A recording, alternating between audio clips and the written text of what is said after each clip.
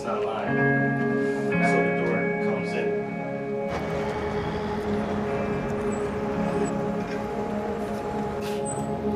Hello. Hey, how you doing? Hey, how you doing? Hey. Hi. You're interested in a gun, right? Oh, yes. Okay, cool. You looking for something for like target practice or? Uh, protection? More for just protection. Just safety. I'm pro Second Amendment, you know, so it's like, it's kind of hard to find that around in New York City, you know? It's Yeah, like, like I was showing your wife, you know, the first gun I showed her was this revolver. It's the easiest gun we have to use. It's, uh, you know, it's our most popular one. It's a 22 caliber, six inch revolver. It's also a gun that a five-year-old found in his parents' bedroom, went down and shot his nine-month-old baby brother with it. When it says shooter, five-year-old kid, dead one, what does that mean? That's the history. This is of the gun that the guy That's shot. the gun. This is the one? This is the one that the kid used? Holy sh!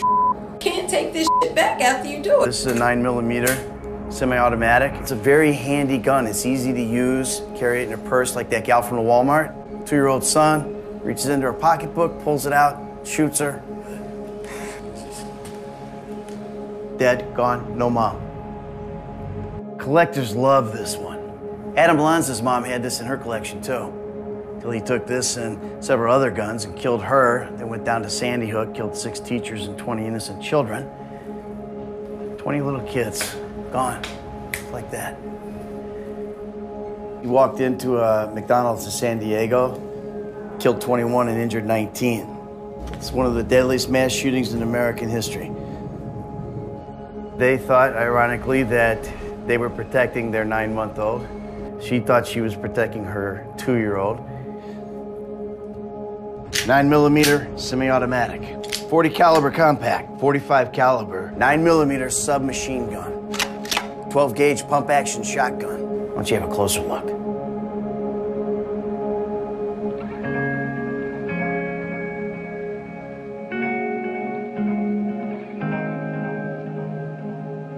I was pretty blindsided by just the entire history of every gun in the store. And it made me actually think I'm not gonna buy that gun. It made me think twice, and I would not buy one. It is one of our rights, but my opinion has definitely changed. I don't, I don't feel safe with the gun. You don't want to be the Walmart case.